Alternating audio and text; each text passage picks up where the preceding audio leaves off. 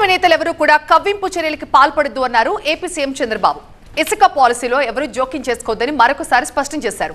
Assembly committee హాల్లో జరిగిన NDA శాసనసభాపక్ష సమావేశంలో అసెంబ్లీలో అనుసరించాల్సిన వ్యూహంపై నేతలకు దిశానిర్దేశం చేశారు.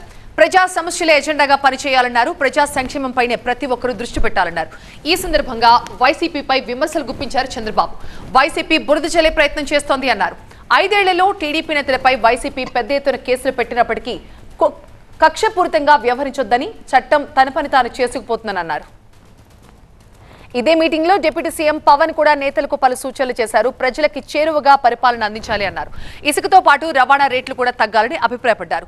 ప్రభుత్వానికి చెడ్డ పేరు రాకుండా ఎమ్మెల్యేలతో కలిసి పనిచేయాలని సూచించారు పవన్.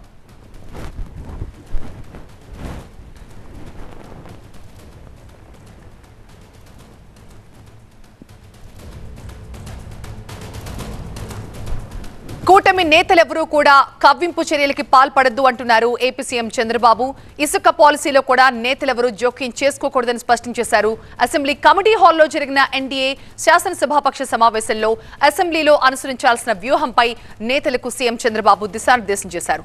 మరింత సమాచారం అందించేందుకు మా ప్రతినిధి ఈశ్వర్ మనకి లైవ్లో జాయిన్ అవుతున్నారు. ఈశ్వర్.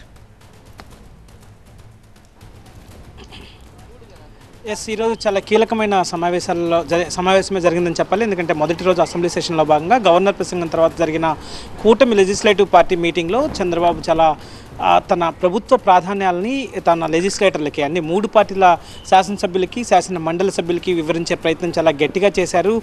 ప్రధానంగా మూడు పార్టీలు కలిసి పనిచేస్తున్నాయి కాబట్టి మూడు పార్టీల సెంటిమెంట్లు దెబ్బతినకుండా ముందుకు వెళ్ళాలి. అదే సమయంలో రాష్ట్ర అభివృద్ధి మనకి గీటురాయిగా కావాలి. దాని కోసమే అందరం కృషి చేయాల్సిన అవసరం ఉంది. ఎందుకంటే రెండు వేల ఇరవై తొమ్మిది ఎన్నికలను దృష్టిలో ఉంచుకొని ఆ ఎన్నికల్లో మళ్ళీ తిరిగి అధికారంలోకి రావాలంటే మనం ఏమేమి చేయాలి? ప్రజల మన్ననల్ని ఏమేమి పొందాలి? ఇచ్చిన హామీల్ని ఎంతవరకు నెరవేర్చాలి అన్న దాని మీదే ఫోకస్ చేయాలి. ఎలాంటి ఇబ్బందికర వాతావరణాన్ని సృష్టించే ప్రయత్నాలకు వెళ్ళొద్దు. రాజకీయ కక్షలకి అంతకు మించి వెళ్ళకపోవడం మంచిది. ఒకవేళ వెళ్ళాల్సి వస్తే నేను నాకంటే ఎవరు రాజకీయ పొలిటికల్ విక్టిమ్ ఇక్కడ ఎవరు ఉండి ఉండరు. ఎందుకంటే యాభై మూడు రోజుల పాటు జైల్లో ఉన్నాను. మాజీ ముఖ్యమంత్రిగా మూడు సార్లు ముఖ్యమంత్రిగా చేసిన తానే అంత ఇబ్బందులు పడితే తీసుకోవాల్సి వస్తే రాజకీయ కక్ష ఎక్కువ నేనే తీర్చుకునే అవకాశం ఉంటుంది. కానీ వాటికి నేను అసలు ఆలోచించడం లేదు. ఆ దిశగా నాకు ఆలోచనలు కూడా రావడం లేదు. రాష్ట్ర అభివృద్ధి మీదే అందరం ఫోకస్ చేయాల్సిన అవసరం ఉంది అంటూ చాలా కీలకంగానే ఒక గట్టి సందేశాన్ని ఆయన ఇచ్చినట్టుగా మనకి చాలా స్పష్టంగా అర్థమవుతోంది.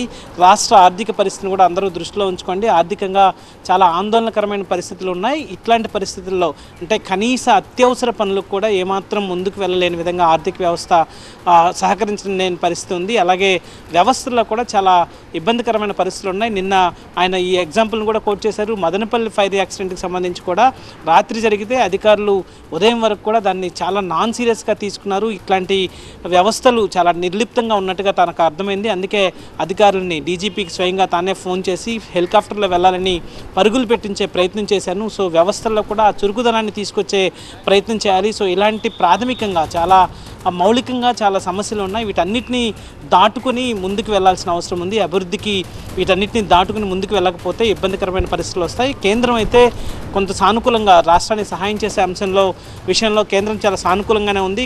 దాన్ని మనం ఉపయోగించుకునే విధంగా అందరం కలిసి ముందుకు వెళ్ళాల్సిన అవసరం ఉంది. అదే సమయంలో ఇసుకకు సంబంధించి కూడా కొంతమంది ఇసుక గతం కంటే కొన్ని ప్రాంతాల్లో ఎక్కువ ధరకి లభిస్తుంది. ఎందుకంటే సినరేజ్ కొంత తక్కువ ఉన్న ట్రాన్స్పోర్టేషన్ కావచ్చు. తూర్పుగోదావరి నుంచి ఇసుక రావడానికి టన్నుకి ఇక్కడ పశ్చిమ గోదావరికి రావడానికి దాదాపు ఆరు వేల రూపాయలు పడుతుంది. గత ప్రభుత్వం కంటే ఎక్కువగా ఉందన్నట్టుగా కొంతమంది ఎమ్మెల్యేలు ముఖ్యమంత్రి దృష్టికి తీసుకొచ్చారు. దీంతో అక్కడ కూడా అట్లాంటి ఇబ్బందికరమైన వాతావరణం లేకుండా ట్రాన్స్పోర్టేషన్ ఎంత ఖచ్చితంగా వసూలు చేస్తారో దానికి కూడా ఒక ధరను నిర్ధారించి అలాగే సీనరేజ్ని కూడా చాలా తక్కువించి వీలైనంత వరకు తక్కువకి ఇసుకనివ్వాలన్న ప్రయత్నాన్ని చేయాలి. ఎందుకంటే ఇసుక ఉచితంగా ఇస్తామని ఇప్పటికే చెప్పాం కాబట్టి ఆ విషయంలో ఎలాంటి ఇబ్బందులు కలగకుండా చూడాలి. అదే అదే సమయంలో ఇసుకలో కూడా తెలుగుదేశం పార్టీ ఎమ్మెల్యేలతో పాటు ఇతర పార్టీ ఎమ్మెల్యేలు కూడా జోక్యం చేసుకోవద్దు.